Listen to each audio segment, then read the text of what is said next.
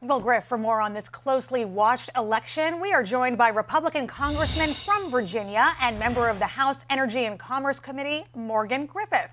Congressman, thank you so much for joining us today.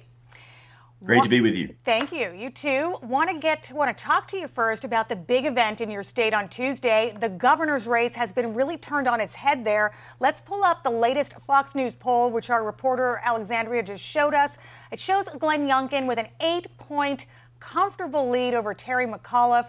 Of course, there are other polls that show the race tighter, but let me get your reaction uh, to our poll.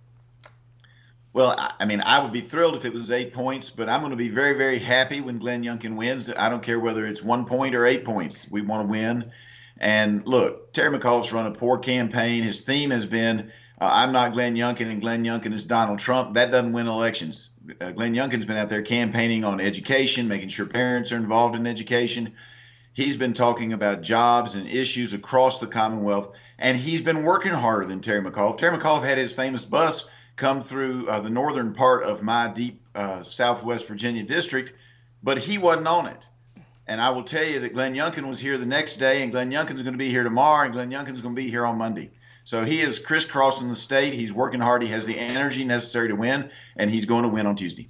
Yeah, it is really interesting because Terry McAuliffe is such a seasoned politician, and here comes Glenn Youngkin, a political novice, uh, and he really seems comfortable out there as a political candidate. But let me ask you, uh, what changed in this race? As you mentioned, there is a lot of uh, GOP enthusiasm, and because the race is largely focused on education and critical race theory, it does seem to have energized Republicans. 79% of Youngkin supporters are extremely interested in the election, compared to only 69% of McAuliffe supporters. What do you make of that? Well, I think that's that's true, and I think McAuliffe is responsible for that. When he said that parents shouldn't be involved in their students' educations, he got a lot of Democrats. I'm not going to say it's it's 10 points, but a few points of Democrats are actually going to vote for Youngkin because even though they lean to the left, they believe they have a right to be involved in their children's education and that when they ought to be able to go to school boards with whatever the issue is and be heard. Yeah, that really did seem like a turning point in the race. Um, I want to turn quickly to another topic while we've got you the big spending bill that is likely to come up for a vote next week. You have been tweeting about this, how you got 1,700 pages sort of handed on your desk, dumped on your desk last week. Did you get through enough pages uh, to figure out whether you like the deal or not? They did cut it down from 3.5 trillion to 1.75 trillion. Uh, what do you think so far? Well, I've, I've been able to get through about 200, 250 pages uh, thus far. The rest of it's sitting here on the table with me. Uh, I'm going to keep reading through it, but I will tell you, I can't vote for it. There are a number of reasons why. One, they lowered the number in part by just playing some gimmicks, by saying, okay, instead of funding it for 10 years, we're only going to fund it for three years or two years. Uh, that's not acceptable. They really want to continue those programs out for the full 10 years, but they wanted to bring the number down. The other thing is there's no Hyde protections built in here. Uh, that's another big problem, and and there are other problems. Natural gas tax uh, is in there. It's going to raise the cost of uh, of heating uh, people's homes.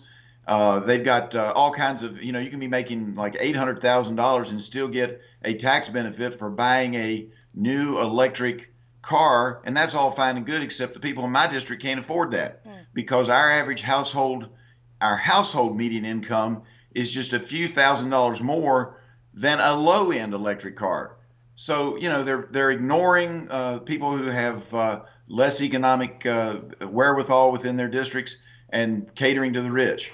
Let's go over quickly where most of the money would be going. When we have a graphic to put up, uh, there's 550 billion to clean energy and climate investments, 400 billion for child care and universal pre-K for three and four-year-olds, and 200 billion to extending the early child tax credit.